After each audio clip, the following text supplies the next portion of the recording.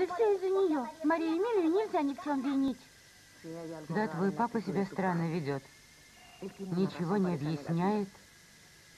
Не знаю, в чем дело. Но я должна это выяснить.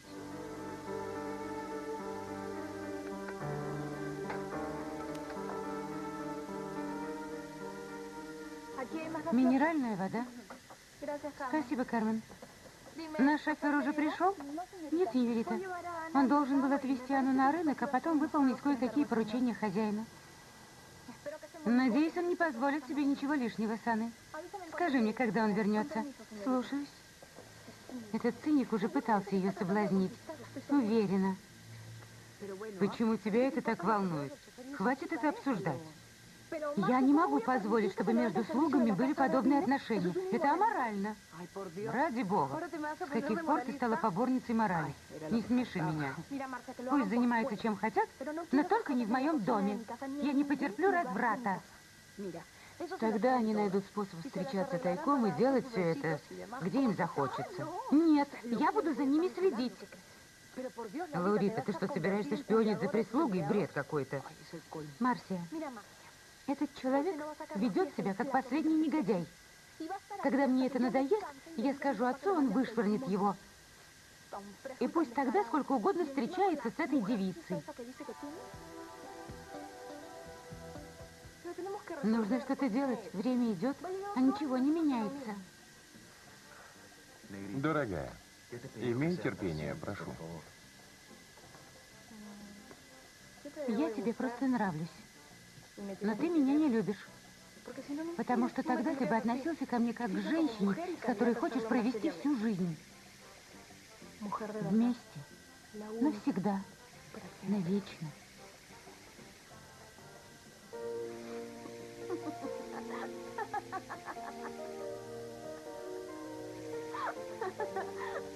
Мигелон? Мигелон. Мигелон. Мигелон. Почему ты на меня так смотришь? Задумался. О чем? Да ничего особенного. Принеси мне еще пиво. Рамирес, чего нам ожидать от этого Нового года? Не знаю, сеньора. Одно могу сказать. Чем дальше, тем хуже. Мерседес, ты прекрасно знаешь, что Анхелита ушел в отпуск. Я не хочу, чтобы ты прохлаждалась. Одна я не справлюсь. Иди работай. А куда уехал Анхелито? Чинчу. Этот своего не упустит. Знаешь, кто еще туда поехал? Палента. Скажи, а где Руденсио будет встречать Новый год? У Гомесов. Влюбился по уши. С ума сходит по России, дарит ей подарки. Ну, ты знаешь? Ну, конечно. Этой девчонке крупно повезло. Вот как ведут себя настоящие мужчины. Ни на шаг от нее не отходят. Уверена, они скоро поженятся. Может, и Мегелон скоро станет таким же, как думаешь? Этому парню нельзя доверять. Его чувства непостоянны. И он как тот осел, который думал, думал, и так и сдох. Мама, что ты говоришь?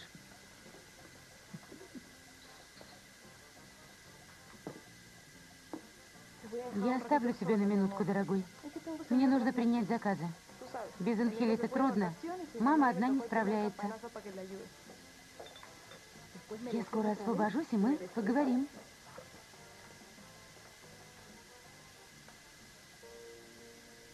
Она красивая. Она такая красивая, что дух захватывает. У нее золотистые волосы. Золотистые, как это пиво. И белая кожа. Как эта пена. Она похожа на котенка с доверчивыми глазами. Маленький котенок, который царапается, но не больно. Мерседес не такая. Всегда суетится, торопится. Эти темные волосы и запах кухни. Блондинка приятно пахнет. Как цветок, который хочется сорвать и понюхать. Как это пиво. Прозрачное и ароматное. Так приятно, когда она рядом. С ума можно сойти. Маленький котенок.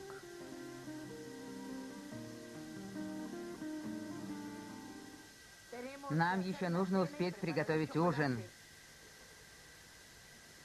Привет, Моника. Привет. Что ты будешь делать на Новый год? Пойдет на какую-нибудь вечеринку, как на Рождество. Что бы я ни делала, это не ваше дело. Понятно? Какой тон. Не обращай внимания. У нее сегодня плохое настроение. Ладно, вернемся к нашему разговору.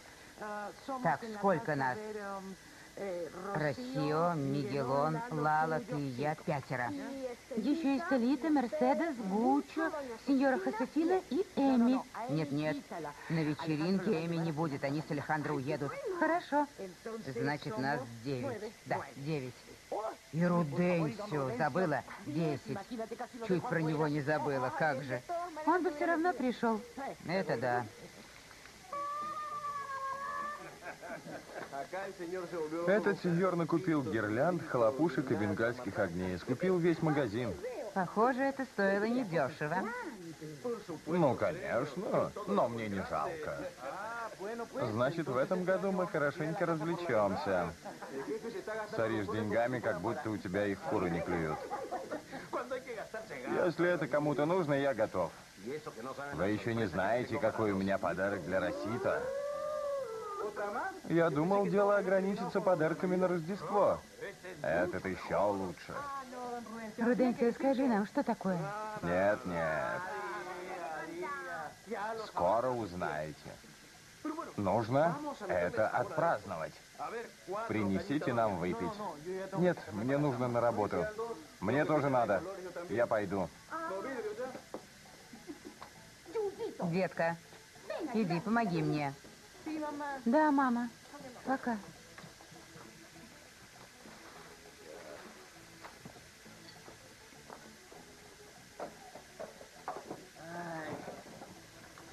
Мне так нравится заниматься этим. Рамирес сказал, что я транжира. Но уж нет. Уж я-то знаю, как достаются деньги. И всегда стараюсь экономить. Но ради особого случая я готов на все.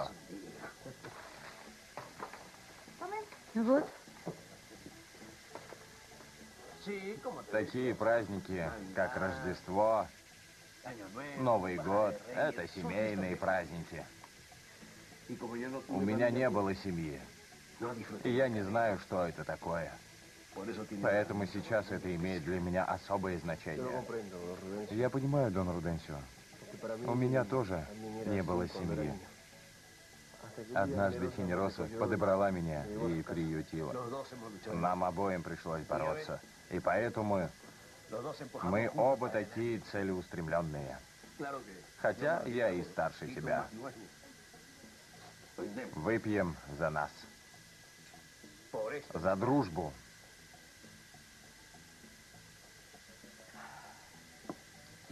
Это больше, чем дружба, Лалу. Я хочу стать тебе отцом. По возрасту я подхожу на роль твоего отца. Зачем вы это говорите?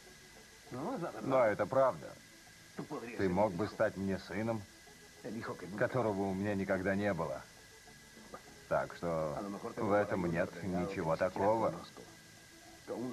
Я надеюсь, что скоро у меня будет настоящая семья. У меня будет дом. У меня будет жена. Иногда чувствуешь себя так одиноко, понимаешь? Я часто спрашиваю, ради чего все это? Моя работа, фирма, бизнес. Ради чего? Ради кого? Но еще не поздно. Теперь у меня достаточно жизненного опыта, чтобы сделать правильный выбор. Говорят, что в 40 лет жизнь только начинается. Конечно, да-да. Когда Росита привыкнет ко мне, мы поженимся.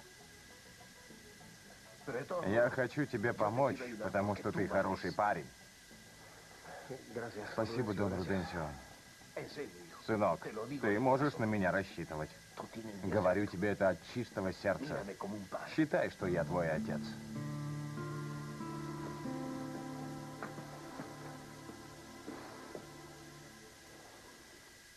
Пенероса? Пенероса? Ее нет. Она пошла в магазин и вернется не скоро. Мы одни, Лало. Думаю, ты хочешь меня кое о чем спросить? В прошлый раз нас прервали.